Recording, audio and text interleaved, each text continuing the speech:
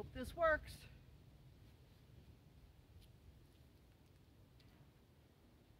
It's almost too warm for this getup.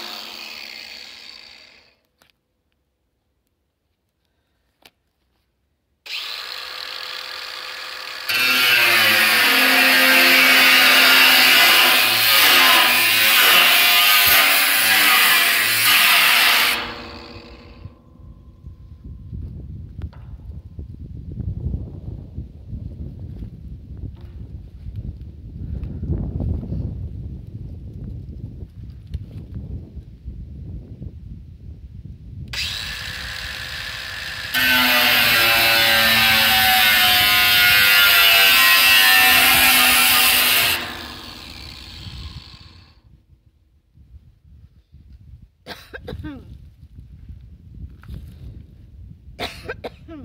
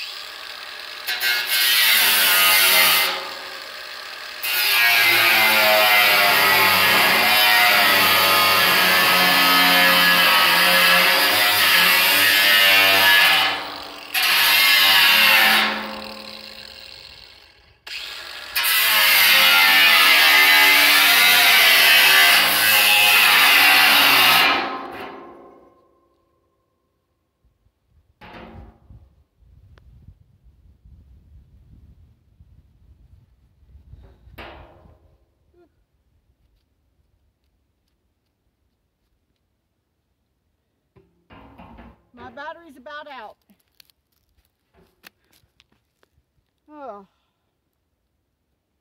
What a dirty mess, huh? Oh, anyway.